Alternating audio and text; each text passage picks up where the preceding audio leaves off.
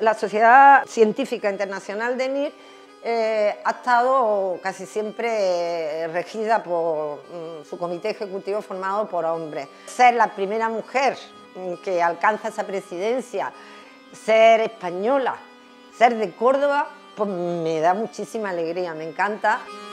La tecnología NIR es una eh, mm, herramienta de, control de calidad. Nace muy ligada al control agroalimentario, pero posteriormente se ha ido desarrollando y tiene aplicaciones en medicina, en farmacia.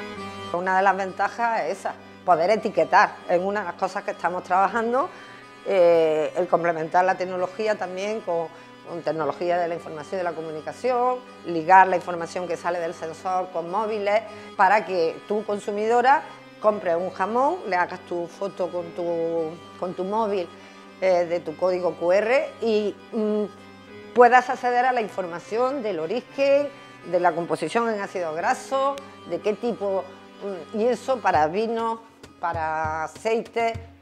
Mi principal función como docente es formar a estudiantes de ingeniería agronómica. Imparto eh, asignaturas relacionadas con la tecnología de espectroscopía de infrarrojo cercano, eh, que es mi campo y mi área de investigación desde hace más de 20 años. Una de las cosas que más me gusta de mi trabajo son las personas.